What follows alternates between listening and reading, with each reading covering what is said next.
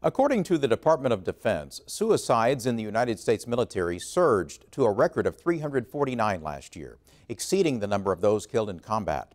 A recent study shows the suicide rate among veterans is also alarming. 22 vets are taking their own lives each day. The Department of Defense and the Office of Veterans Affairs are ramping up suicide prevention programs, but many service members are not getting the help they need.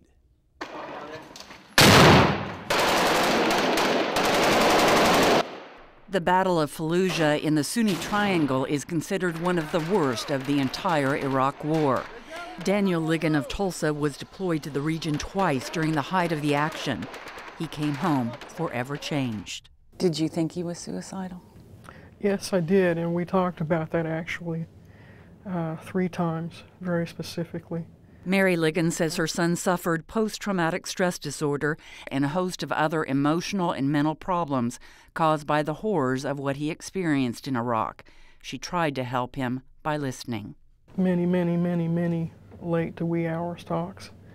And um, we talked, he, he did talk about a lot of personal issues and a lot of uh, his feelings about the war, about his buddies, and some of his uh, struggles she said her son just kept withdrawing and ended his life with a self inflicted gunshot wound in June of 2007. Like many soldiers, Daniel refused to seek professional help. Had a, a sense of pride that he didn't want to be weak and admit that he had problems. I think he was concerned about his future, that if he admitted he had need, it would affect his future if he resumed active duty. Decorated war veteran Justin Blackburn of Oklahoma City died of a drug overdose on June 29, 2009. He did seek help. He tried to seek help through the military, and whenever he tried to seek help through the military, he found a program he wanted to go to in Colorado. And uh, he didn't get a response. We received a response right after he died. How long did he was he waiting? Three years.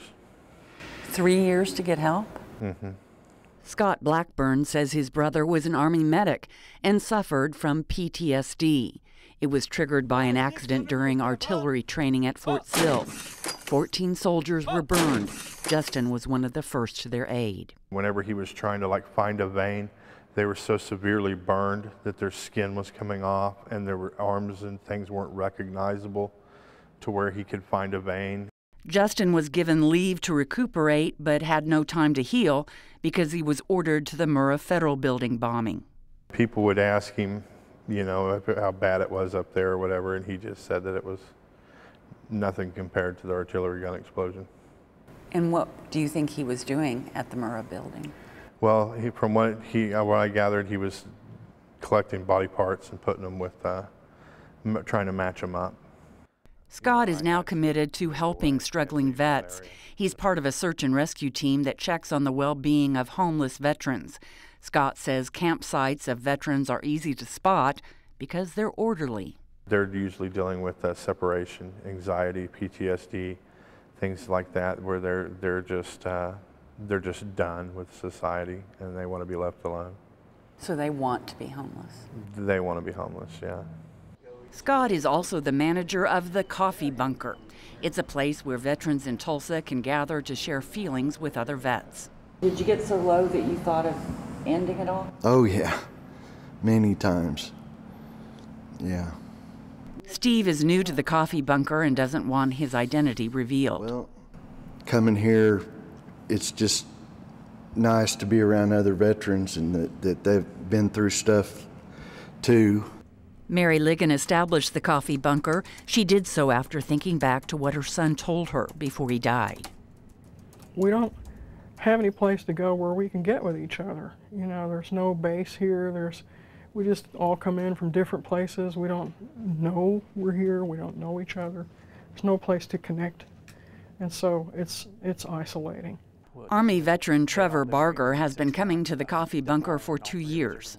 When I got out, I thought, oh, you know, I'm different because I was in the Army. I later found out it was because I had PTSD. His PTSD relates back to finding his basic training buddy dead in their barracks. It was a suicide. I didn't have any aftercare. I didn't have any, I didn't get to talk to anybody. Uh, no, but there was nobody to talk to. Um, so I suffered in silence. And that's why when I got out, I felt, I guess, anger towards the military. I felt anger because they didn't take care of it. These vets have since seen the Veterans Administration change the way it deals with veterans' mental health. In the past like year and year and a half or year, year and a few months, I've been getting a lot of help through the VA. And that's, that's, I mean, my life has changed. A few years ago, the VA established the Veterans Crisis Line. It's 1 800 273 8255, and that service has been expanded. They've started a text and chat, so someone can actually text to a crisis line responder or, or do an online chat with them as another way to reach out to veterans who may not feel comfortable calling. The crisis line is also for active duty military personnel. More and more are asking for help. In the last few days, we've had nine referrals. So there, that has grown over the years to where it's up to over 800,000. I've actually called that, that number. After the initial communication, the VA dispatches a crisis team to the veteran or active duty soldier in need. Same day mental health care, guidance into outpatient treatment, or hospitalization are all available. Mary Ligon believes multiple deployments are contributing to the suicide rate. Where our troops have gone as many as seven or eight deployments with as little as three or four months at home to recover. Through the years, soldiers haven't talked much about the horrors they endured, saw, or inflicted. Many who help vets believe talking is an important part of the healing process.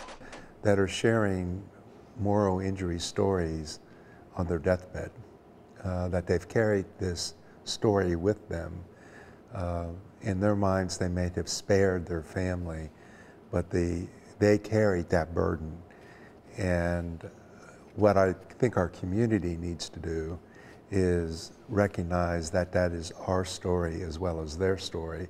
The pain may still be very raw no matter how long ago they served.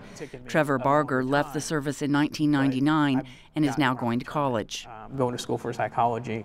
I hope to get my master's degree. That's the plan. Uh, and then start helping other vets. I mean, that, that was the plan. You know, I got this goal in mind, and I'm, you know, no matter how hard it was, there's others out there that need me. No matter how far a vet may fall, Scott Blackburn says each is owed a safety net.